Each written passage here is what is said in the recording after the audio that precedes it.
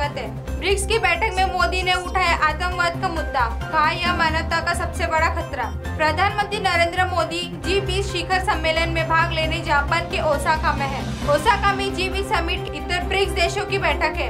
इस दौरान पीएम मोदी ने आतंकवाद का मुद्दा उठाया। ब्रिक्स देशों की बैठक में पीएम मोदी ने कहा की आतंकवाद मानवता के लिए सबसे बड़ा खतरा है। आतंकवाद न केवल मासूमों की जान लेते हैं बल्कि यह आर्थिक विकास और सांप्रदायिक सप्ताहों को पूरी तरह से प्रभावित करता है। हमें आतंकवाद और नक्सलवाद के समर्थन के सभी माध्यमों को रोकना होगा। बता दें कि यह जी सम्मेलन से इतर अनौपचारिक बैठक थी। जापान के ओसाका में ब्रिक्स देशों के नेताओं के बीच हुई मुलाकात। इस दौरान ब्राज़ील के राष्ट्रपति Jair Bolsonaro, PM Narendra Modi, चीन के राष्ट्रपति शी जिनपिंग और और दक्षिण अफ्रीका के राष्ट्रपति सीरित रामफोसा मौजूद रहे। M N S news live की खबरें देखने के लिए आज ही प्ले स्टोर से M N S Hindi app download कीजिए और इस चैनल को सब्सक्राइब कीजिए। धन्यवाद।